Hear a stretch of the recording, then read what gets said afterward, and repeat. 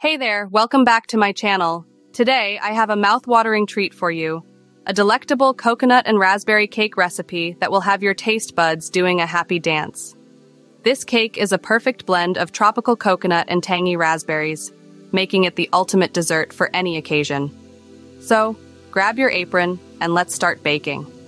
First up, we're going to preheat the oven to 350 degree, 180 degree, and grease and line a cake pan with parchment paper. This will ensure that our cake bakes perfectly and doesn't stick to the pan.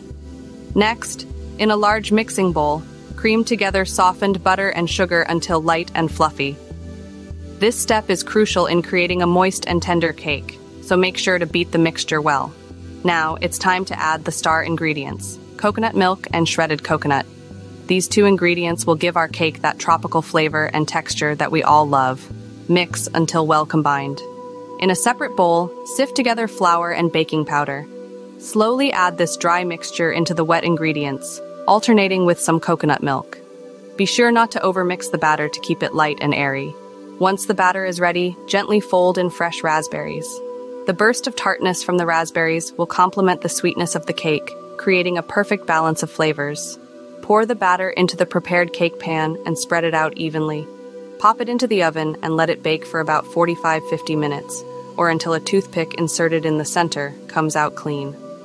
As the cake bakes, let's move on to the best part, the coconut frosting. In a mixing bowl, whip up some cream cheese, butter, powdered sugar, and coconut extract until smooth and creamy. Once the cake is baked and cooled, generously spread the luscious coconut frosting over the top. Feel free to get creative with the decoration and sprinkle some toasted coconut flakes on top for an extra crunch.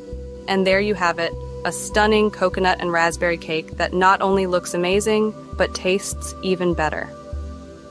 Trust me, one bite of this cake and you'll be transported to a tropical paradise. I hope you enjoyed baking this delicious cake with me today. If you try out this recipe, be sure to tag me on social media so I can see your beautiful creations.